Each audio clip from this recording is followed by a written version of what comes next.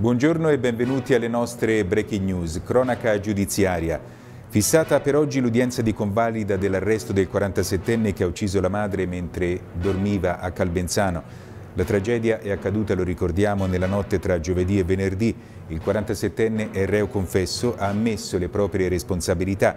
Lui si chiama Manuele Andreini e ha un passato segnato da problemi di carattere psichico.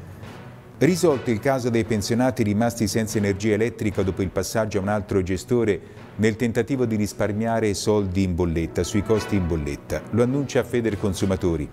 Il caso era stato portato alla luce proprio dalla stessa associazione un paio di settimane fa.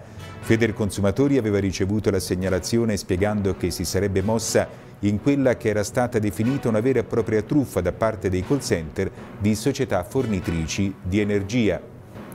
Per quanto riguarda lo sport, va detto che l'Arezzo ci ha provato in tutti i modi, ma è stato costretto a dividere la posta sul campo del Ghiviborgo, sul sintetico del Ghiviborgo.